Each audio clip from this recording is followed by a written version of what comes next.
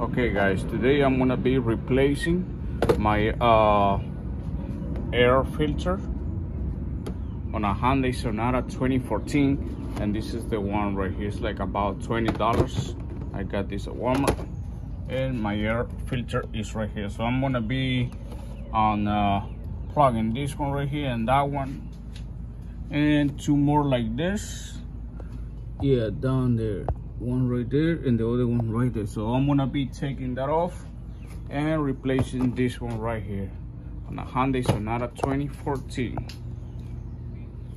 okay first i'm gonna do this one right here and this one right here. So i got i have two more like this. Over here in the back.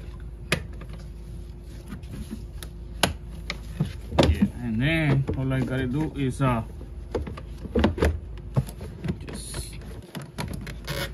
bring them up here a little bit. I don't have to.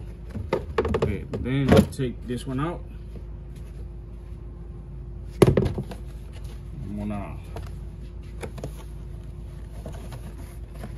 the next one.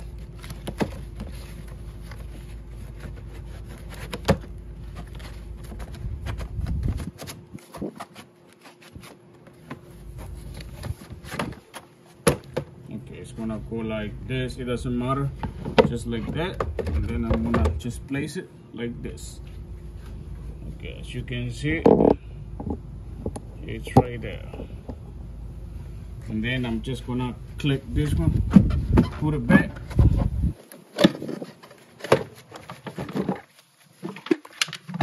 Okay now do this one first. That one right here. And this one right here. And then that one.